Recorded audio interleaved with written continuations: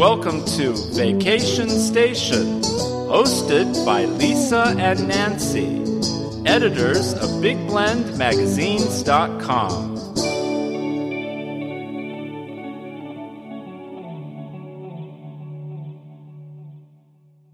Glynn Burrows, family history expert and owner of Norfolk Tours in England, is back on Big Blend Radio's Vacation Station show today to tell us about some of his family history and how it led to two visits to Canada with his recent visit, uh, exploring Eastern Canada, including its national parks, all kinds of communities. And, you know, he really got to a place where one of his ancestors were. I mean, to stand there and, and be overseas and go to where one of your ancestors were from exciting. England. It's amazing. It's Yeah. amazing. And meet current, you know, current family, uh, you know, and relatives. So, a very exciting story. His article and photos are featured in the October through December issue of Parks and Travel magazine, and you can also read it right on nationalparktraveling.com and see his other articles there too. He's also one of our expert contributors in Big Blend Radio and TV magazine, which you can see at blendradioandtv.com. And uh, the best thing, though, is go visit Glynn on his website, norfolk-tours.co.uk. He puts amazing travel. Well, you're basically he works on the itinerary and does all the details um, for you when you come over to England, and he'll take you anywhere you want to go and take you to see whatever you want to see and help you even find your ancestors and where they live. So, uh, very cool stuff indeed. Glynn, how are you? I'm fantastic today. Thanks very much. Hey, good, good. That means you must have had a cheese scone today. Funnily enough, you you you, mentioned that um, I was away um, with some guests over the weekend, and when I came home, guess what? My lovely wife had made me a little tin full of cheese scones, and I finished the last one this morning. oh, that is a good breakfast. There's nothing Uh, like a good cup of it's not a very good scone. breakfast, really, but that's the Well. that's the one I had anyway. Oh, oh, I know, because when you have a, a proper English breakfast, breakfast, that's a big spread. I mean, I remember Oh, yeah. like fried tomatoes, sausage, or steak and eggs, right? Uh, And, no, uh, no, no, no, no, no. Eggs, eggs, bacon, and sausage. That, that will do. Okay. Now, when you went to Canada, did you get a good? Did they serve English breakfast over there? Well, a couple of the places we were at served a type of English breakfast, but the ones that really impressed me were the the little tiny bed and breakfasts that we stayed in that served all the beautiful yogurts and fresh fruit and you know the the real fresh eggs. There, there was one we stayed at in St Andrews, um, and it, he served on one day he served um, a beautiful fresh yogurt with um, a fruit salad with it, and then followed by uh, well, it was a cross between um, an omelette and a poached egg. It was it, it's it was um, it was a strange concoction, but it was absolutely gorgeous, and um, that's the sort of thing I love to try because that's something I wouldn't normally do at home, and it, it was it was something that you know was what he made, or it was his wife who was cooking in the kitchen, but um, you know it's something really different. So that that's what I uh, that's what I enjoy doing is is try the local dishes and uh, Mhm. see what they can offer. And it's, the nice thing is it's all lovely and fresh, so you know what you're getting. I love this. I love this journey that you took in. I want to. I know this is the second trip to Canada, and this was was like a 16 day road trip. Now that's how Nancy and I travel, right? And I hope you were playing Willie Nelson in the car on the road again on the way, or in, in the Well, van. You know. We were, we Um, were playing. Uh, one of the uh, one of the cousins were fitted it up to the um, to the radio on the on the on the minibus, and so we were getting all different playlists from people of my age put their playlist together from their phones, and then there was uh, the younger cousins. They were putting their playlists together, but there was lots of singing, and um, there was even some dancing going on at one stage, um, which probably wasn't very good for the driver, but we, we all had fun. That's awesome. That did you all take turns cool. dri- driving? Did you did no, you take a turn? there was um, there was four drivers. wow, wow, Yeah. four drivers, and you so you didn't want to do the other side of the road?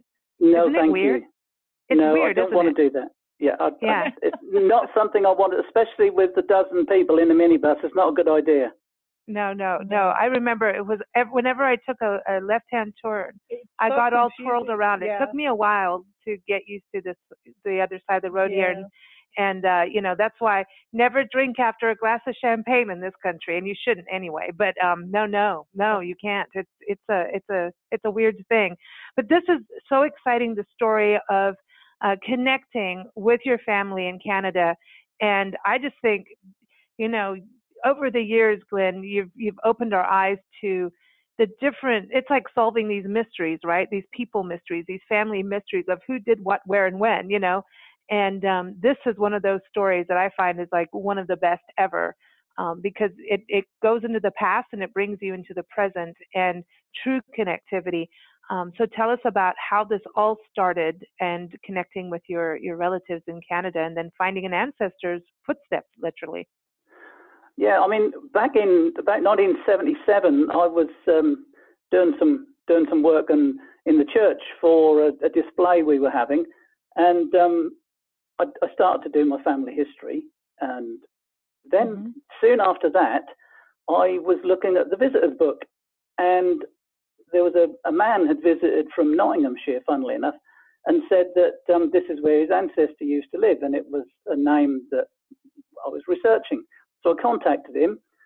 He then gave me information about his side of the family and also the fact that one of his cousins um, was living in Canada, or two of his cousins were living in Canada actually.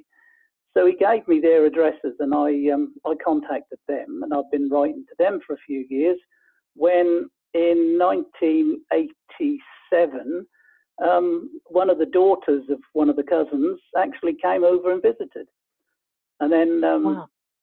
one of the other cousins came over in 2015, and then they they were they're all lovely, but the um, the husband of one of my cousins said when you're coming to Canada, and he wouldn't let us not put a date in the diary. so we we said right, we'll come next August, and he wouldn't let it rest and I'd like to thank him very much for not letting it rest because we ended up going to Canada that next August. And then, wow.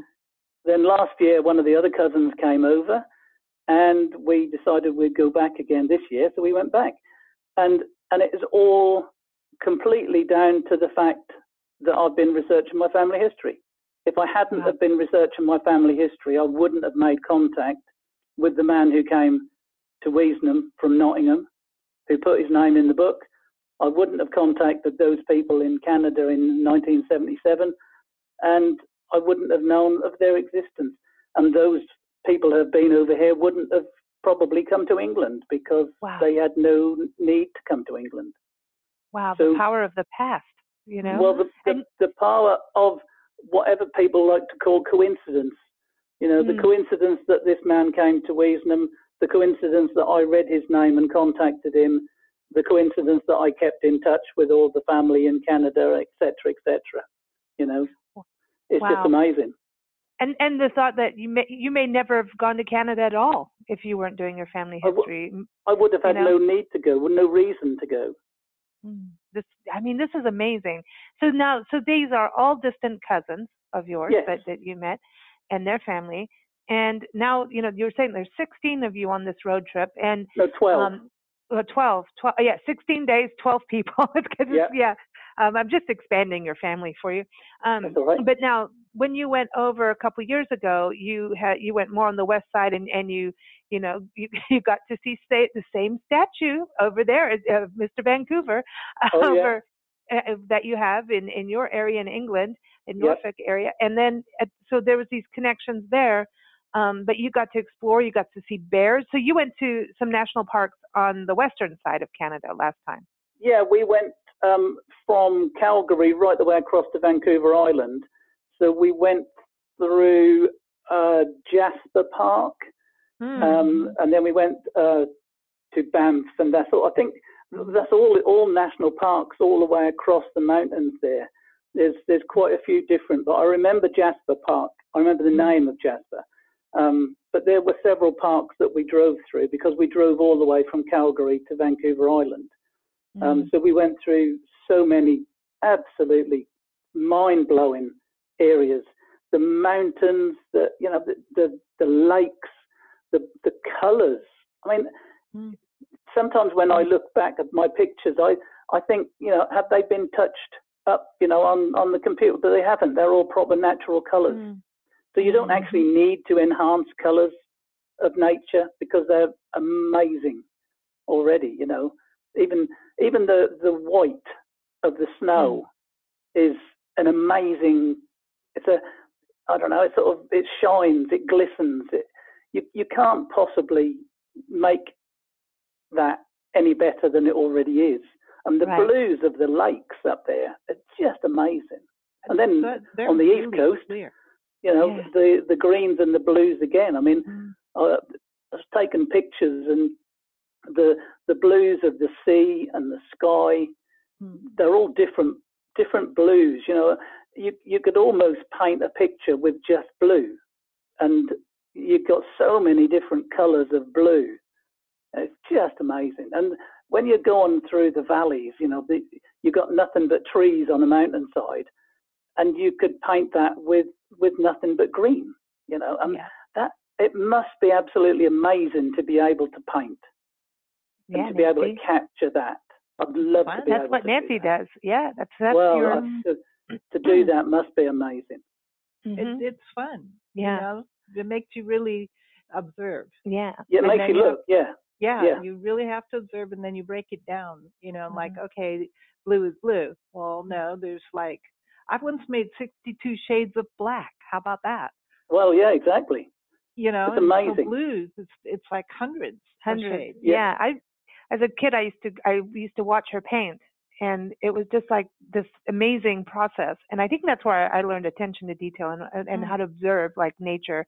Between that yes. and actually observing nature on a daily mm-hmm. basis um, as a kid, and it to me, it's when you when you take that in. I think it's really important what you're saying, Glynn, because sometimes when we travel, we're just you know people are watching movies in the car and I, you know, and, and things yeah, like that. I'm just like, stop it. Yeah. stop it and look out the window. There's always windows. something. There's always something to look at. And to oh, me, yeah. that's part of it is like, wow, look at this, you know, and, and taking in those colors and pulling over, getting that breath of air. And, uh, I, I was going through your, your photos and videos of, oh, of your trip, uh, this one going on the east side. Mm. And I mean, it almost looks like mountain and, and almost tropical in some way, like the greens. It it feels dewy, like that it's got a little bit of humidity. Was did you get a little humidity out there? Because it just felt, I don't know, lush is a good word. It's lush.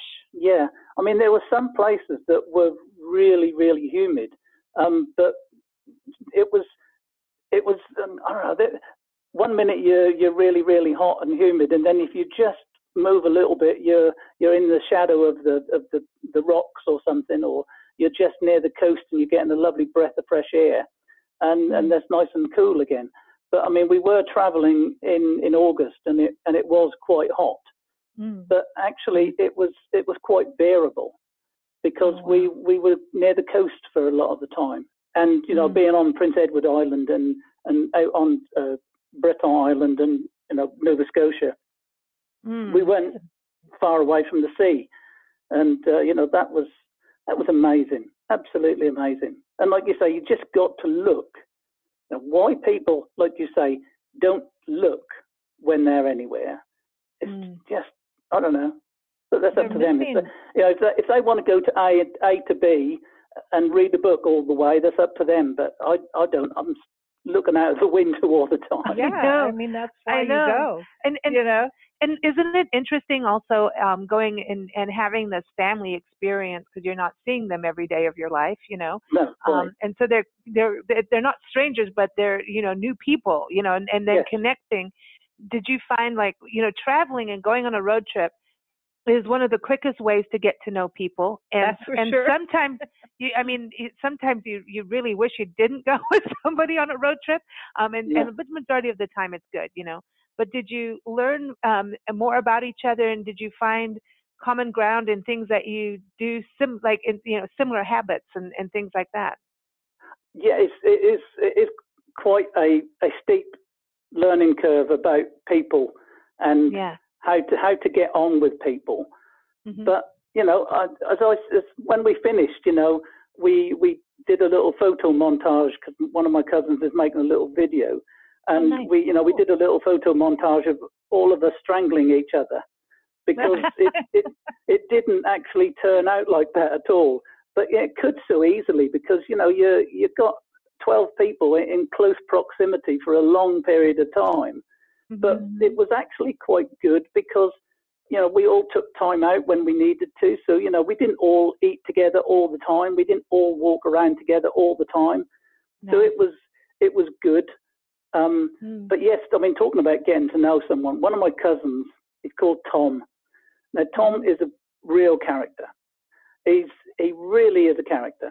He is um he's very um very clever. He's a I don't know whether he is actually a professor, but I know he teaches sound technology or something at a, at a college or a university or something.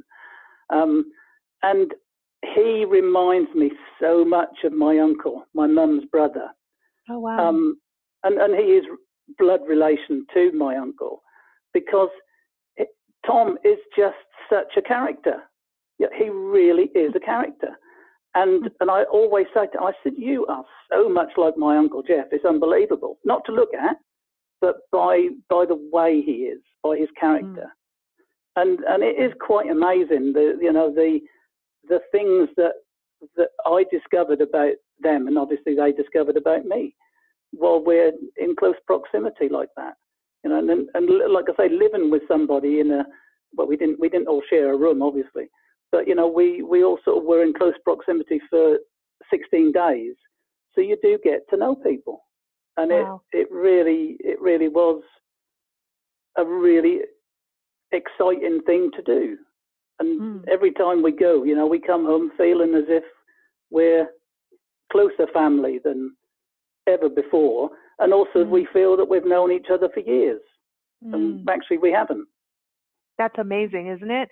I mean, this again comes from you digging around in family history, and here it is these big Yeah. adventures, these connections, and that's very powerful.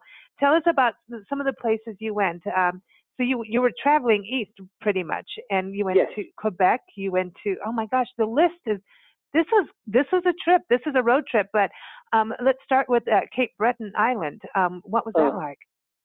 that was probably my favourite because we went around the Cabot Trail, and that was all around the, the coast on the left hand side of the island, and that was just spectacular.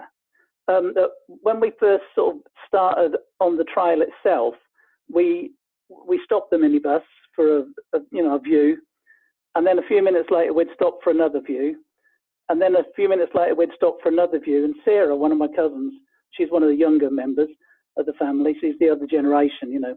Mhm. Um, she she sort of took charge, um, and she she said, "Look, if we're going to stop like this, we're going to have to get out of the van, have a little walk about, and get back in again. Because if we stop and we spend a half an hour at every place, we're never going to get round in time because we had the next hotel booked at the end of the Yeah. trail.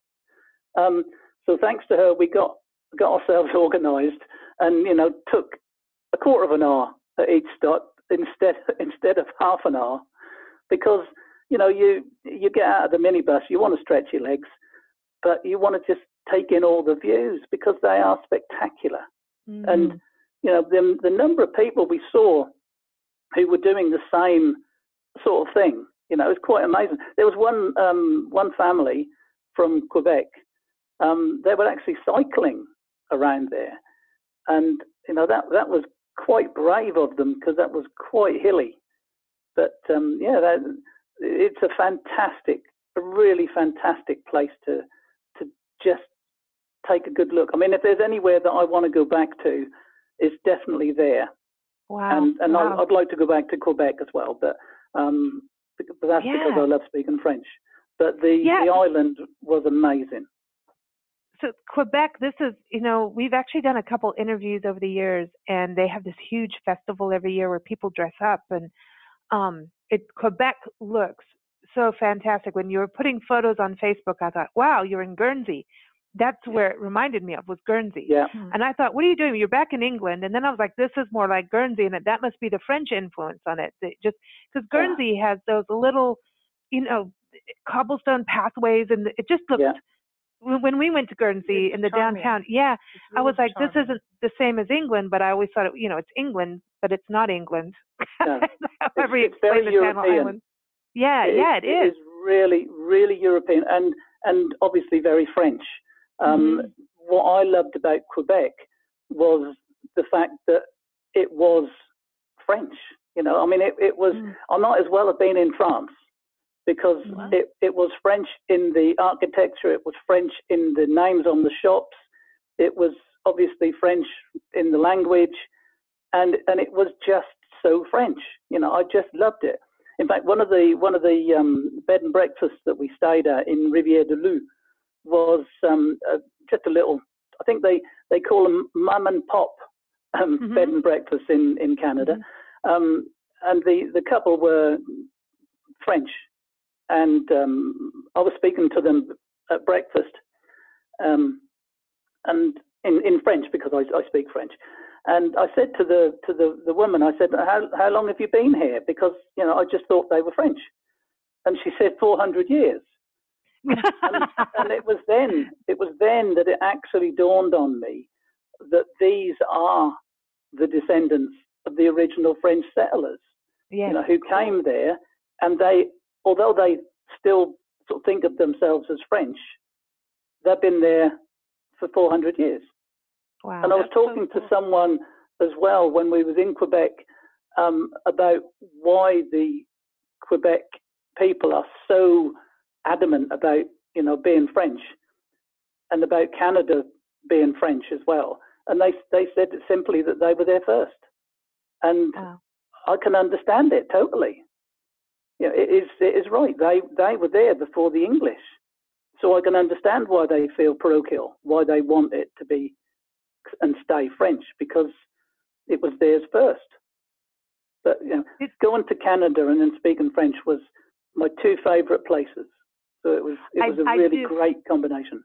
I have to say the First Nation people were there first. I have to. Oh yeah, yeah, yeah, yeah. Yeah. North Yeah. American here. We have to we have to give the the, the Indians are the, they were they were here first in America in, in the states, Oh. United States, and and in, in Canada. And I, what I do love about Canada is they call them the First People and the First Nation, and Yeah. uh, gives gives them you know the respect of of them being there first. But it's so interesting about who was there 1st in, Mhm. in regards to England.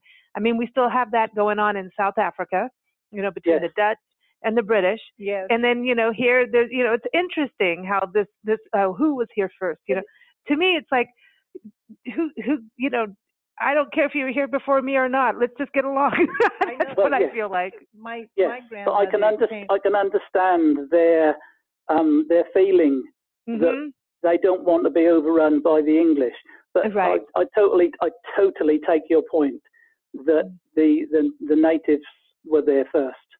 Um, It- but then I was it- reading something today that um, even questioned where they came from originally. So Mhm. yeah, it doesn't really matter who was there first. We yeah just got to get on with each other. what did you say nancy I, my grandmother, who was from Hull in England, yeah. um, her half sister um, lived in Canada for a while, and I know that she said that we had an uncle Charlie in Canada, and she she always wanted us to to go and visit him, but she always said he's French and he's different. That's Oh, right. really that's that's that's that's a, that's That's how she said that's it. our family history yeah, He's french that and he's different French Look. and he's different. Glynn, we're gonna find out we're related to you. Don't be scared. Oh, be scared. Who be very, very scared. No, but this is so fascinating because, and then at the end of the day, when you think about it, you know, there, there's, you know, a lot of Scottish history in Canada and English history, French history, right? So then when people are doing their family history from France, they, they, it can lead right back to Norfolk at the end of the day, right? So this opens the lines further. when it comes. Well, it could do because you know if they come over to Canada from France, because you know obviously they moved around in Canada, Mm.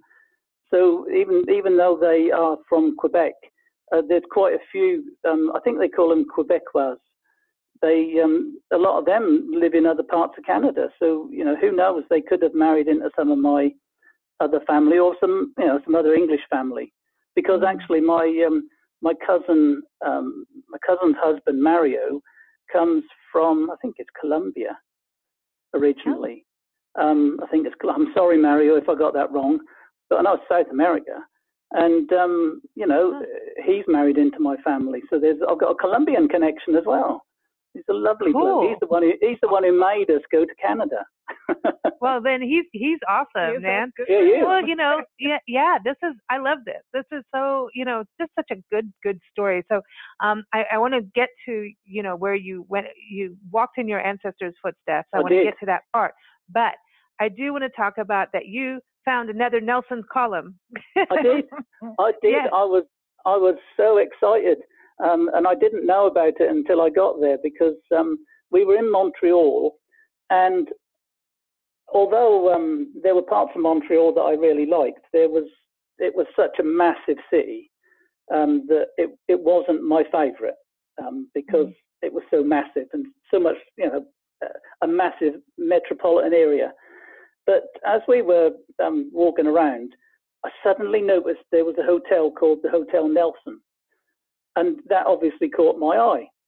And then I looked around and there was a big column, a big stone column with a statue on top of it. And I had a look at I went up and had a look at it and it was Nelson. So when I um, when I did a bit more research, I found that actually this is the second oldest Nelson's column in the world. It's actually earlier than the Nelson's column in Trafalgar Square in London wow. and um, and and there it is in in Canada, and and there it is. I I just sort of tripped over it as, as I was walking around Montreal. You know, who can Wow. believe it? But as, as I say, um, coincidences, you know, um, these coincidences are, are just everywhere. And to find Nelson, to find Nelson in, in Montreal, it made my day. it, it's really interesting, you know, that it's true. These coincidences are there. You just have to, again, have your eyes open and, Mhm. and Yes. be able to, to receive those coincidences. It's so, it's fascinating. And, you know, so then also you went to the Alexander Graham Bell Museum. I would have loved to have gone there. And, uh, and you said that he really, now, so he's Scottish. So, so that's a connection, you know, when you think about it.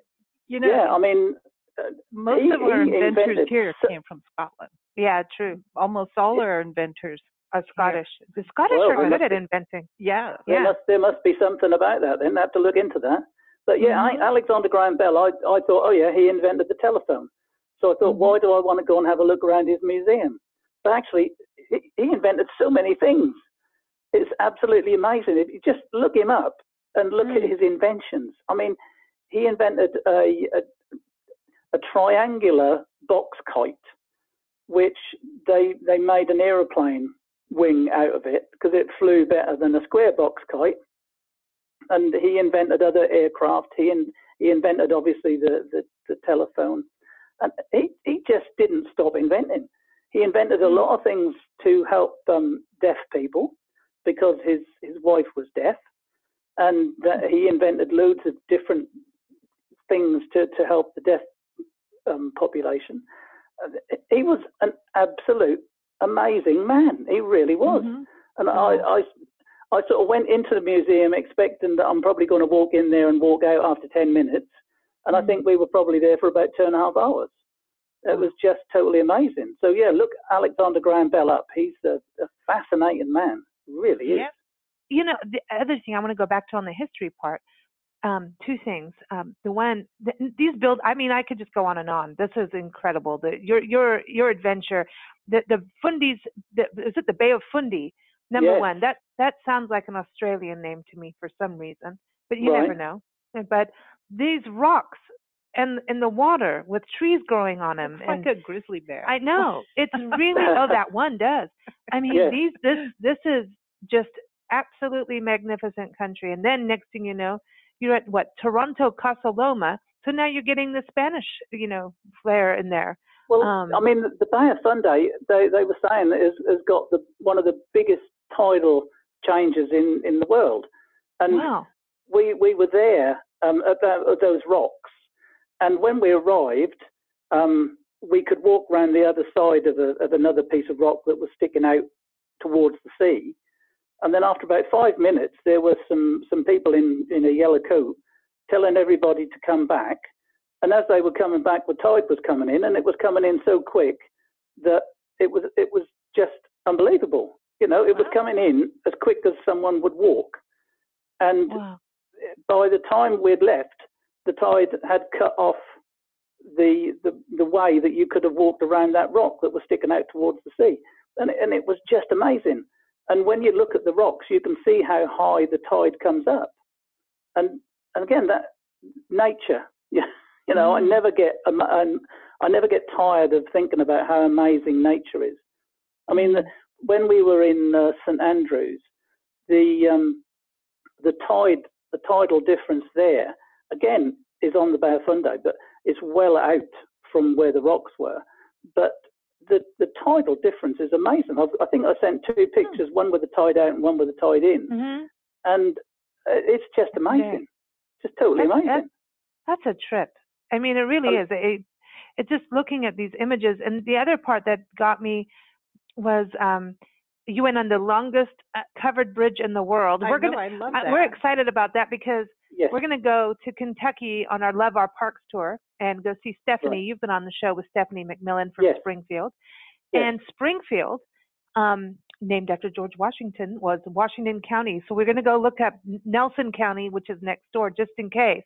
You yeah. know, there's a Nelson's column there. You never know. Yeah. but um, I know it's going to be part of our tour in search of Nelson's column. You know, you never like know. Mr. Bean. I know, Mr. Bean. Mr. Bean. Um, but anyway, when when um, over there they have the longest covered bridge in the state of Kentucky. You know, so right. we're going to go do that.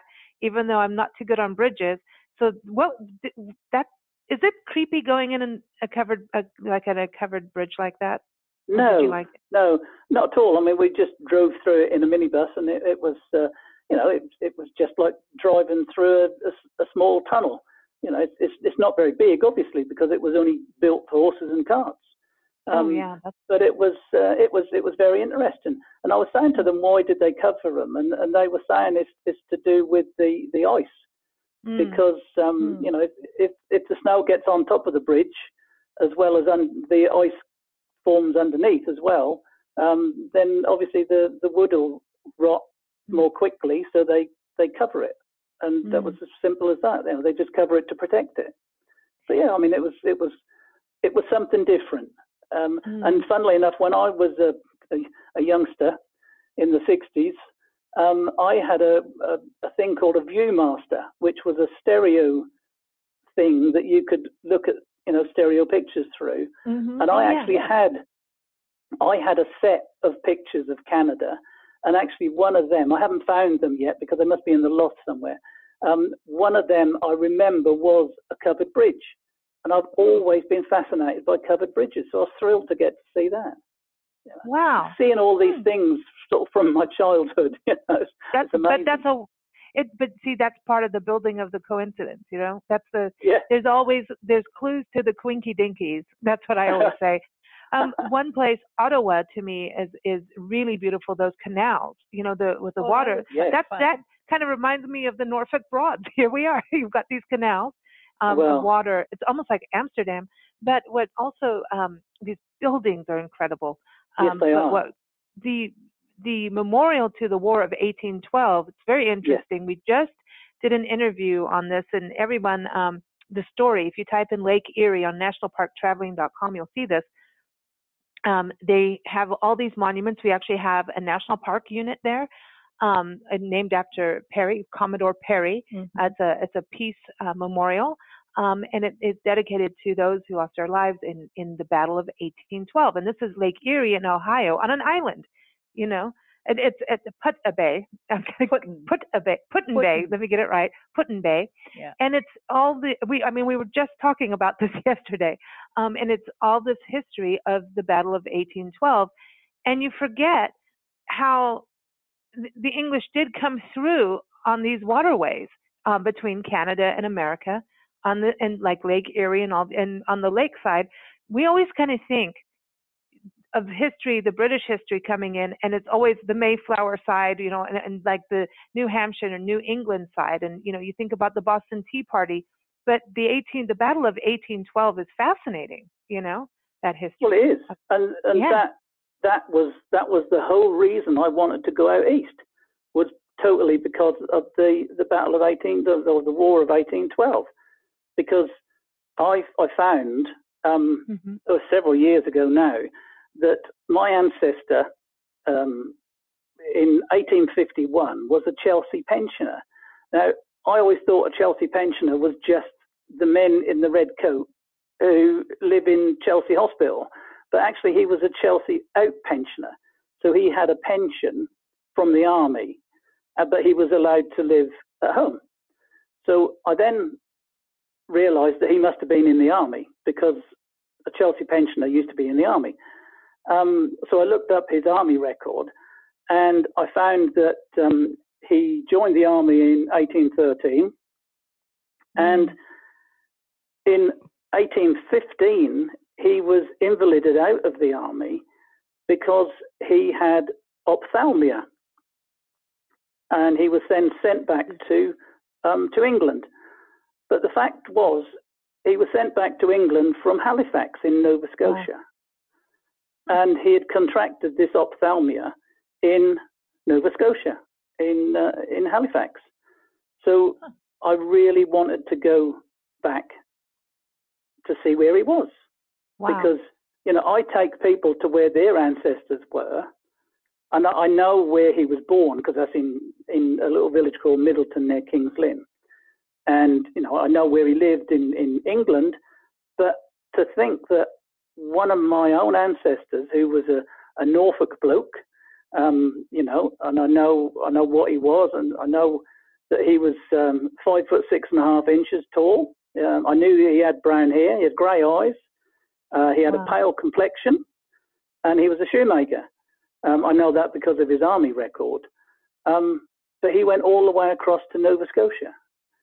So I just wanted to go, and I went. I went to the um, the the present fort, um, which was built after he was there. So the, the one I saw wasn't the one that he saw, but it was in the same position. And I went to the record office in Halifax and I got some information. I got some old maps, and I found out where he would have been uh, billeted while he was there. So I was able to go, and although nothing's left because it's all been built on, I know roughly where he was. Um, there are still a few buildings that were there when he was there. Um, there's a clock tower that is still there that um, he would have seen. Um, so it was it was quite mm. amazing for me to do what I normally do for other people. You know, to go across the Atlantic and and see where my ancestor was, which was that's amazing. And also when you consider that that he had to sail from England all the way across the Atlantic in a little yeah. tiny boat. You know, it wouldn't have been a big boat, it wouldn't have been a steamboat, it would have been a sailboat. And then he had to sail all the way back again when he was invalided with this ophthalmia, which obviously is something to do with his eyes. Mm-hmm. Um, you know, I, I, flew across the Atlantic and it, it took me seven hours. You know, how long did it take him to sail across the Atlantic? I haven't found out yet, but wow. you know, it's amazing. He, he must have uh, he must have suffered. Wow. Um, it's it's then when you get that's these stories, you know, you're keeping his story alive. That's yeah. that's what I think about family history is, is living history, right? Where you you find out these stories of your ancestors, where and sometimes they just get forgotten. If if all it is is you know birth records, death records, you know baptismal records, that's that's a number and a name you know yes. but when you dig into the family history and you start piecing their life together these are you're keeping their stories alive well, also, i think this is you know, so amazing the, the, the thing about you know digging more into people um you know the fact that i know that he was five foot six and a half inches tall you know i, I know that he had brown hair mm-hmm. you know wow. i knew he was a, i know know that he was a shoemaker you know all of those things are what makes him a real person. You know, mm. He is a real person to me. You know, right. he's a little bit shorter than I am because I'm not very tall. You know, and and I can I can see him. You know, I can see him because you know it tells me what he looked like.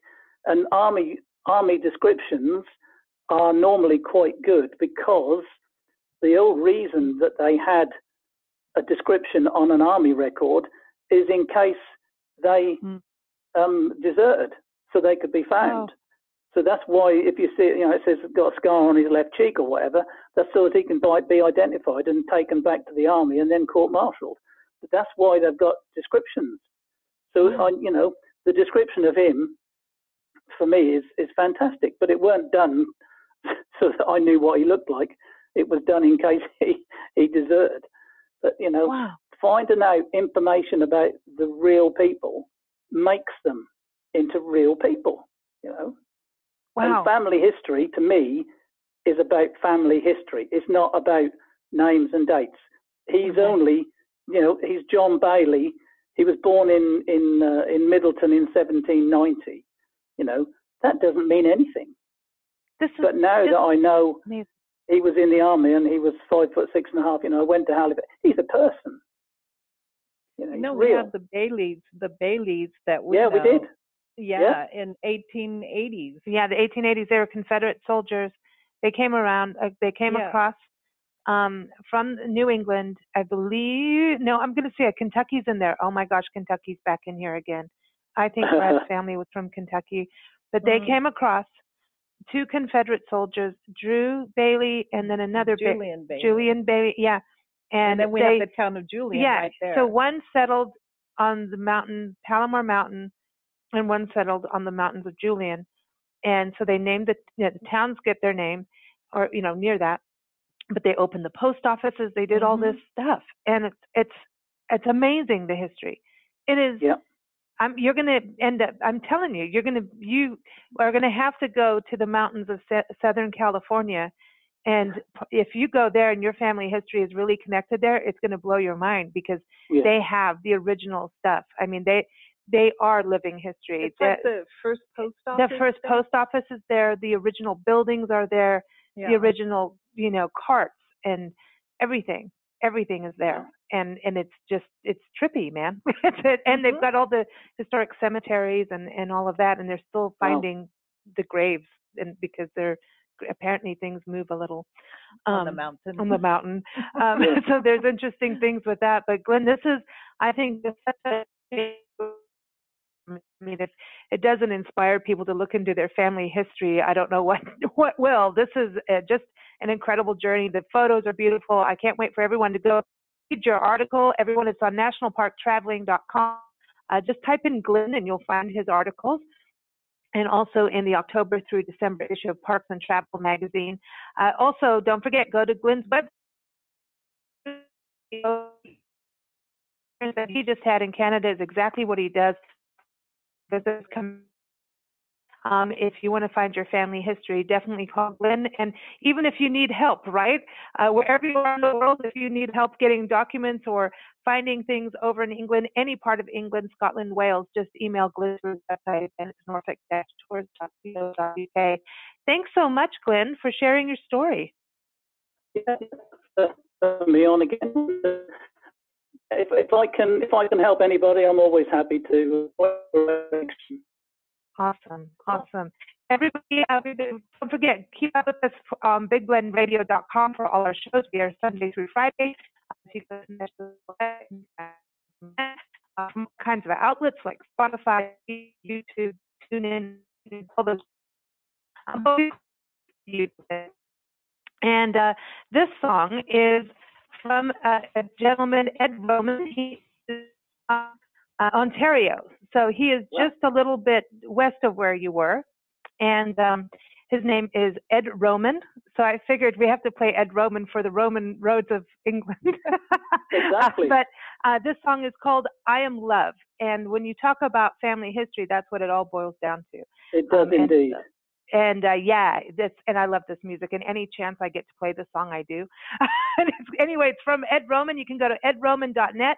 It is off of his latest album. It's called Red Omen, and he's an awesome guy who loves to garden, and he posts really cool organic garden photos and food photos all the time on Instagram and Twitter. So check it out. Uh, but here it is. I am love. Thanks for listening, everyone. Thanks, Glynn. Bye. Bye bye.